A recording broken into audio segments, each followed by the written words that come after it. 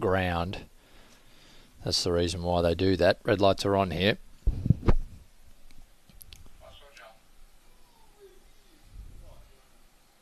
Away. Memo jumped well. Sequista the inside is mustering up and holding a forward spot on the rails. Also handy as Lady of the Castle. Memo's now third, followed by Within the Law, and dropping to the rear is Lipstick. They go to the side now. Sequista shows the way. Three quarters of a length, Lady of the Castle. Memo is third. Fourth is Within the Law. And Lipstick is last. Up to the home bend. And they've got 350 metres to run. Sequista shows the way. It is Sequista turning in now at the 300, leading from on the outside Lady of the Castle, Memo, within the law.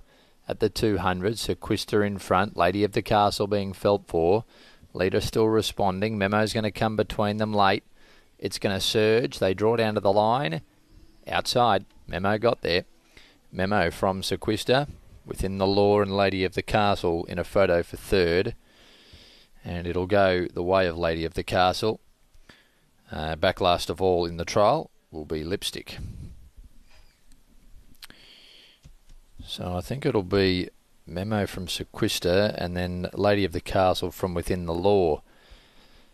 As far as your order here, Sequista is unraced. Uh, Memo is unraced. I think it's the one that'll get the photo for first here.